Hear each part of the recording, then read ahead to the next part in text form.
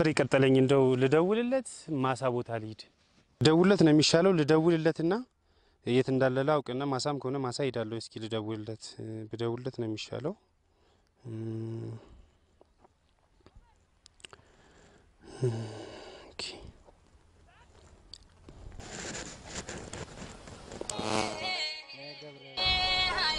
የግብርና ባለሙያው ደወለ። ሄሎ አጥላባችሁ፣ እንደምን አልክ? ሰላም ነው ሆይ? እግዚአብሔር ይመስገን ሰላም ነው። አሎ ሰላም ነህ? አሎ አሁን የት ሆነ ነው? ቤት እኮ መጥቼ ሳጣህ ነው የደወልኩልህ። የት አካባቢ ሆነ ነው? አይ ቤት አይደለሁም እርሻ ቦታ ነኝ። አሀ ማሳ ነው ያለኸው? አዎ በቃ መጣው ማሳው ላይ በቃ ጠብቀኝ፣ እዛው ቅርብ ነኝ። በቃ ደረስኩ። መጣው መጣው። እሺ እሺ እሺ። እሺ እዛው እጠብቅሃለሁ።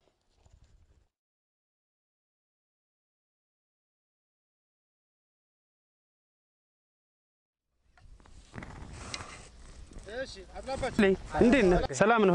ደህና ነው አሎ እንግዲህ ያው በተነጋገርነው መሰረት ባለፈው አዳራሽ ላይ በደረቅ ማጠንፈፍ አጠንፍፎ ቢራ ገብስ እንዴት እንደሚዘራ ዛሬ ላሳይ መጥቻለሁ። ስለዚህ አንተ ተዘጋጅተሃል አይደል? አረጋኸኝ በጣም ነው የማመሰግነው። ጊዜ ለመቆጠብ ብዬ ነው ቀደም ያልኩት። አንተ ልታስተምረኝ ፈቃደኛ ነኝ። አጥሌ በእኔም በጣም በቃ ተዘጋጅተ ስለጠበቅ በጣም ደስ ብሎኛል። ስለዚህ ያልኩን ግብአቶች ካዘጋጃቸው እስኪ ግብአቶቹ ከተዘጋጁ ግብአቶቹን እስኪ እናያቸው። አዎ አዘጋጅቻለሁ። አሁኑኑ ሄደን ማየት እንችላለን። በጣም ጥሩ። በቃ ዘሩን ካዘጋጀህማ በቃ እስኪ እናየውና በቃ ወደ ዘር እንገባለን። አዘጋጅቻለሁ። እንግዲህ ይኸው ይሄ የምናየው ነው። በጣም ጥሩ። በቃ ማዳበሪያውን አዘጋጅታል አይደል? ሁሉንም በጣም ጥሩ። በቃ ያው ለአራት ጥማድ የሚያስፈልገው የዘር መጠን አጠቃላይ አንድ ኩንታል ዩሪያና አንድ ኩንታል ኤንፒኤስ ነው የሚያስፈልገው። ያንተ መሬት ደግሞ አራት ጥማድ ስላልሆነ ያንተ መሬት አንድ ጥማድ ነች አይደለ? ለአንድ ጥማድ ደግሞ የሚያስፈልገን 25 ኪሎ በ25 ኪሎ ስለሆነ እሷን አዘጋጅተን በጣም ጥሩ። እሷን ካዘጋጀ በቃ ወደ ዘር መስራቱን ስራ በጣም ጥሩ ሜትርም አዘጋጅተሃል ለካ። በጣም በጣም ጥሩ ነው። በቃ ጥሩ ነው በጣም ዘሩንም አዘጋጅተሃል። በጣም ጥሩ ነው። በቃ በጣም አንተ በጣም ጥሩ አርሶ አደር እንዳንተ አይነት አርሶ አደር ነው የሚፈለገው። አጠቃላይ ያው ስለ ቢራ ገብስ የተወሰነ ነገር ልበልህ። እንደ ወረዳችን ወረዳችን ላይ አሁን ሆልከር የሚባል የቢራ ገብስ ዝርያ አለ። H 18 47 የሚባል ዝርያ አለ። ይሄ ደግሞ አሁን እዚህ አንተ ጋር የመጣው በጣም ጥሩ ዘር ነው። ትላቨረር ይባላል ይሄኛው ዘር በጣም ጥሩ ነው። የመዋለድ አቅሙ ከፍተኛ ነው። የሚገርምህ ከዚህ ዘር በሄክታር እስከ 60 ኩንታል ማግኘት ይቻላል ከዚህ ዘር ላይ ማለት ነው። ስለዚህ በጣም ዝሩ ጠር ነው የመረጥከው። በጣም የመዋለድ አቅሙም በጣም ከፍተኛ ነው። በጣም ጥሩ ዘር ነው የመረጥከው። ምን ያክል የቢራ ገብስ ለጥማድ የኔ አሁን አንድ ጥማድ ነው። ምን ያክል ይበቃኛል? ግብአቱስ ማዳበሪያው ምን ያክል ይበቃል? ጥሩ ጥሩ ጥያቄ ነው የጠየቅከው። ያው የማዳበሪያ መጠኑን ቅድም ነግሬ ያለውኝ ለአንተ የሚያስፈልግህ 25 ኪሎ በ25 ኪሎ እንደሆነ ቅድም ተነጋግረናል። የዘር መጠኑ የቢራ ገብስ ማለት ነው በሄክታር በአራት ጥማድ ማለት ነው ከመቶ እስከ 150 ኪሎ መጠቀም ይቻላል። እኛ ግን ለዚችኛዋ ዝርያ አሁን ለአንተ ያዘጋጀንልህ ማለት ነው ለዚችኛዋ ዝርያ የሚያስፈልግህ የዘር መጠን ለአንተ አሁን 37 ኪሎ ለአንተ ለዚች ለተለካችሁ ማሳ ይበቃል። 37 ኪሎ ልትዘጋጀው ማለት ነው። እና ስለዚህ የዘር መጠኑ ከስንት ነው ማንም ብሎ ቢጠይቅ ከመቶ እስከ 150 መጠቀም ይቻላል የቢራ ገብስ።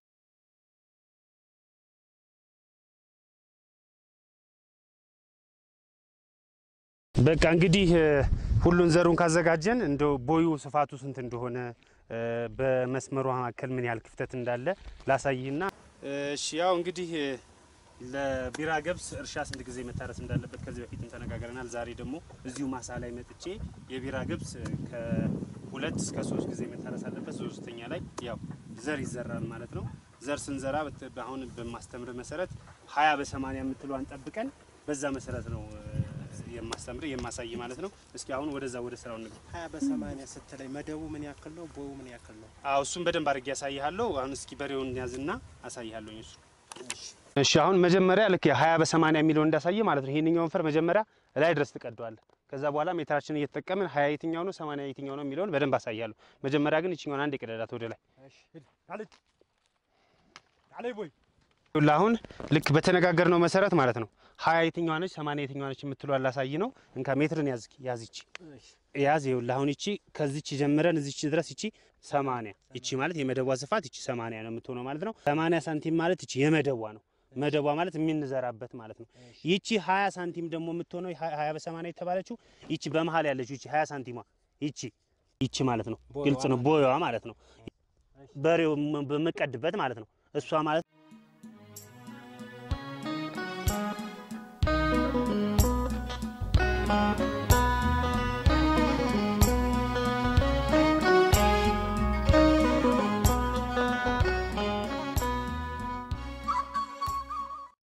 ስለዚህ አሁን ይሄንኛው መደባችንን አውጥተናል አይደለ?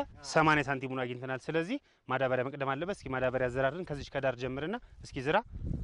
አዎ በጣም ጥሩ፣ በጣም ጥሩ። በቃ በዚህ መሰረት በቃ ጥሩ ነው። በጣም በቃ በጣም ጥሩ ነው።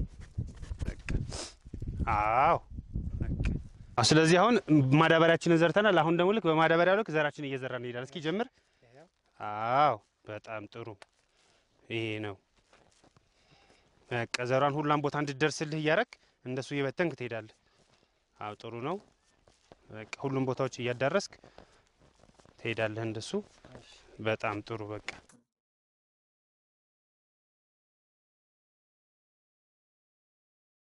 ዘራችንን ዘርተናል። ስለዚህ ለማልበስ ያስፈልገናል፣ ባስፈለግ ሰው ያስፈልገናል። ሰውን አዘጋጅተሃል። ስለዚህ ሁላችሁም እንደዚህ በሷ ሀያ ሰማንያዋ እንድጠብቅልን እኩል እያደረጋችሁ ትዝቃላችሁ ሁላችሁ። እሺ አዎ በጣም ጥሩ አቢ፣ እሷን አስተካክል። እሷ እንዳትበዛብሽ እንደሱ እያስተካከልሽ። በጣም ጥሩ። ትላልቁ እንኳን ፈረስ አድርጉት መሀል ያለውን እንትን አትበሉት። አዎ አዎ አዎ። አቢ በርቺ፣ እንደሱ ጎበዝ።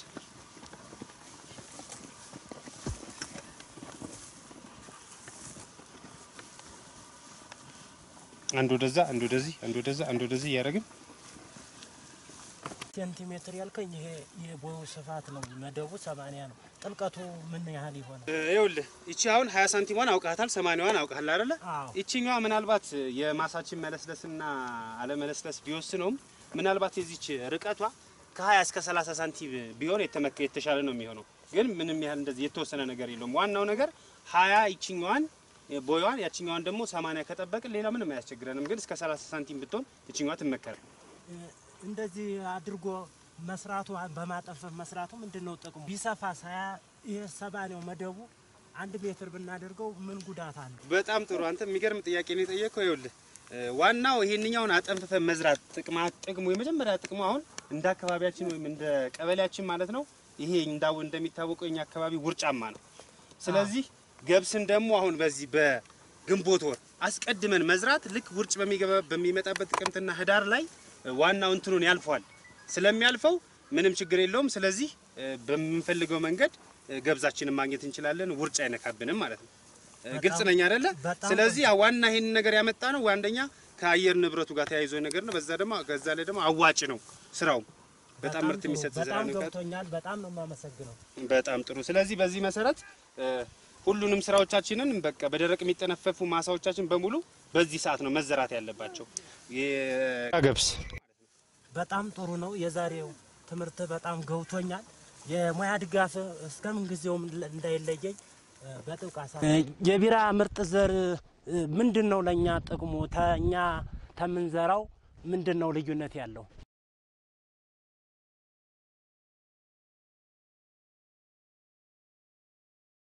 የአካባቢ የምንጠቀምበት የምግብ ገብስ አለ፣ የቢራ ገብስ አለ። አንደኛ ከዚህ ከጊዜው ጋር ተያይዞ በአካባቢያችን በጣም ትላልቅ የቢራ ፋብሪካዎች ከመስፋፋታቸው አንጻር አጠቃላይ እዚህ አካባቢ ያለ አርሶ አደሮችን ገቢ ለማስገኘት ሲባል የቢራ ገብስ በሰፊው ወደ አርሶ አደሩ ገብቷል። አጠቃላይ የዋጋ ልዩነቱም በጣም ከፍተኛ ነው። የምግብ ገብስ አምርታችሁ ስትሸጡ ሰባትና ስምንት ብር ነው የምትሸጡት። ይሄንን ግን የቢራ ገብስ ካመረታችሁ በኋላ ከ11 ብር እስከ 12 ብር እዚሁ ያላችሁበት ድረስ መጥቶ ነው ማንኛውም ፋብሪካ የሚረከባችሁ። ስለዚህ በዋጋም ከፍተኛ ልዩነት አለው። ከዛ ውጭ ደግሞ ገበያ ሄዳችሁ አትንቃቁም። መተን ከዚሁ ከማህበራችሁ ከህብረት ስራው ላይ ነው ሁሉም የቢራ ፋብሪካዎች መጥተው የሚገዟችሁ። ስለዚህ በጣም ሰፊ የሆነ ያለው ሰፊ የሆነ የምግብ የገንዘብ ልዩነት ነው ያለው። ስለዚህ በቀጣይ እናንተን እያየ አርሶ አደሩ በጠቅላላ ወደዚህ እንዲገባ ነው የሚፈለገው። በጣም አመሰግናለሁ። ገብቶኛል። ቀጣይን የተሻለ ምርት ለማምረት ጥረት አደርጋለሁ። በጣም ነው የማመሰግነው። ተገቢውን የሆነ ትምህርት ሰጥተኸኛል። ቀጣይ ላይ የምርቴን አሳድጌ ሌላውም ገበሬ ወደ ስራው እንዲገባ ትምህርት ሰጪ እንዲሆን ጥረት አደርጋለሁ። አንተም ቀጣይ ይህንኑ የሙያ ድጋፍክም ለእኔ እንዳደረክልኝ ለሌሎችም እንድታደርግላቸው በጥብቅ አሳስብሃለሁ። አመሰግናለሁ። ኧረ ምንም ችግር የለው። ይሄ እኮ ምስጋና አያስፈልገውም። ይሄ እኮ በቃ ስራችን ነው። እኛም እናንተ ማስተማር አለብን። ስለዚህ እኛም በቀጣይ የምንፈልገው አንተን እኛ በደንብ እንደዚህ ተጠግተን አስተምረናል። ባስተማርህ መሰረት የስሩ ያሉትን አርሶ አደሮች እንድቀይር ነው የሚፈለገው። በቀጣይ ደግሞ ሁላችንም እዚህ ያለ ነው እዚህ ያለ አካባቢ ወደዚህ ስራ እንዲገባ አንተም የራስን አስተዋጽኦ ማድረግ አለብህ። እኛም ደግሞ በምንፈልገው መንገድ ያልንን ሁሉ አዘጋጅተህ ስለጠበቅን በጣም ነው የምናመሰግነው። በል በቃ እግዚአብሔር ያክፍል። በጣም ነው የምናመሰግነው። እኛም በቀጣይ መተን እንደግፋለን። በል በቃ እሺ፣ እሺ።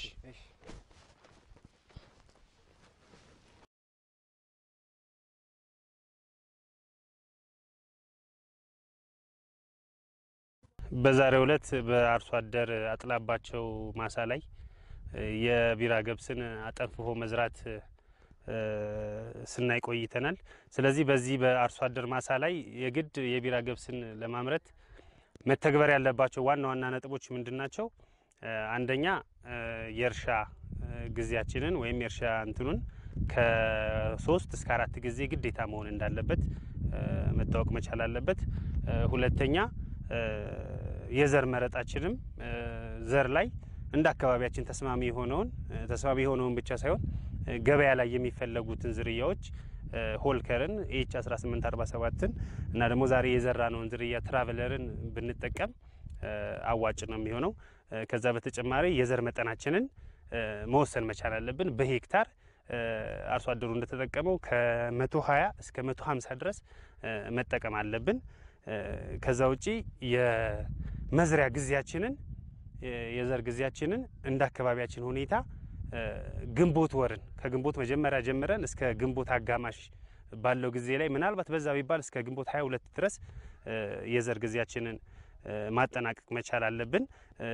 የማዳበሪያ አጠቃቀማችንንም ቢሆን መቶ በመስር የሚለውን የሩያና ዳፕን በአግባቡ መጠቀሞችን መተግበር መቻል አለብን የሚለውን ማስቀመጥ እፈልጋለሁ።